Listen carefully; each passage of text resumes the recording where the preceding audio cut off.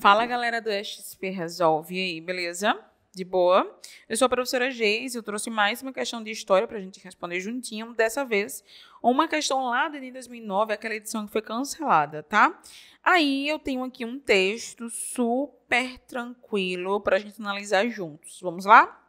O índio do Xingu, que, acredita, que ainda acredita em Tupã, assiste pela televisão a uma partida de futebol que acontece em Barcelona ou a um show dos Rolling Stones na praia de Copacabana. Não obstante, não há que se iludir. O índio não vive na mesma realidade em que o morador do Harlem ou de Hong Kong.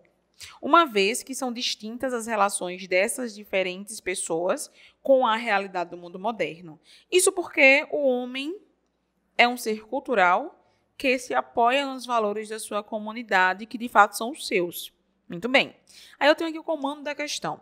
Ao comparar essas diferentes sociedades em seu contexto histórico, verifica-se que quais são as sociedades? É o índio no Xingu, no Xingu, é o morador do Harlem, é o morador de Hong Kong. Essas pessoas, essas realidades, essas, esses núcleos sociais. O que, que a gente verifica? O que, que a gente percebe?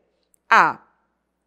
Pessoas de diferentes lugares por fazerem uso de tecnologias de vanguarda, desfrutam da mesma realidade cultural. O próprio texto contradiz essa afirmação. Por quê? Porque o próprio texto diz que eles vivem em realidades culturais diferentes, distintas. Olha o que ele fala aqui. Uma vez que são distintas as relações dessas diferentes pessoas com a realidade no mundo. Então, não é a letra A. Na letra B, ele diz: o índio assiste o futebol e ao show, mas não é capaz de entendê-los porque não pertence à sua cultura. Em nenhum momento do texto, essa visão de que o índio não entende aquilo que ele ouve, aquilo que ele vê, é abordado. Pelo contrário, é uma visão bem pejorativa do índio e é uma alternativa correta. É uma alternativa incorreta. Na letra C, eu tenho a crença em Tupã revela um povo atrasado, enquanto os moradores do Harlem de Hong Kong, mais ricos, vivem de acordo com o presente.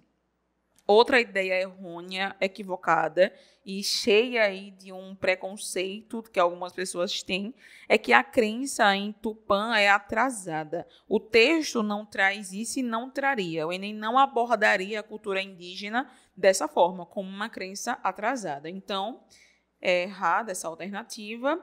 E aqui na letra D eu tenho pessoas com culturas, valores e relações diversas têm hoje em dia acesso às mesmas informações.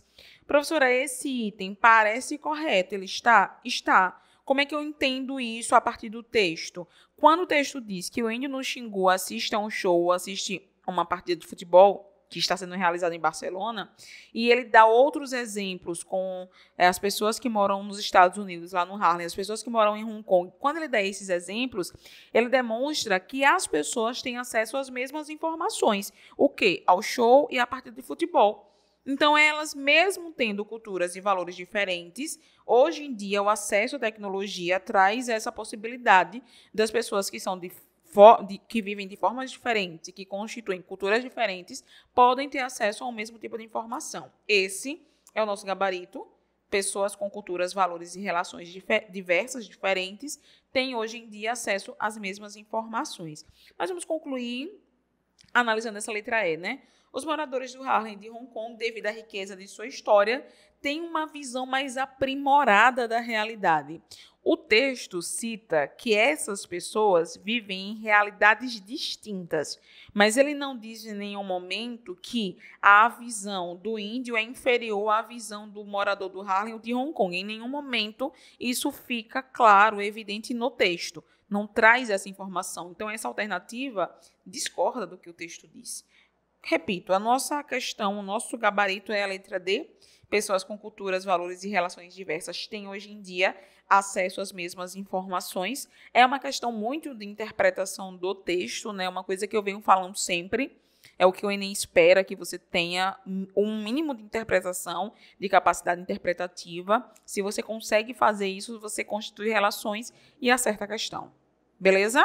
Eu vou ficando por aqui, mas eu volto, hein? Me espera. Eu volto no próximo vídeo com uma nova questão para a gente resolver, tá? Um beijo, tchau, tchau. Até a próxima.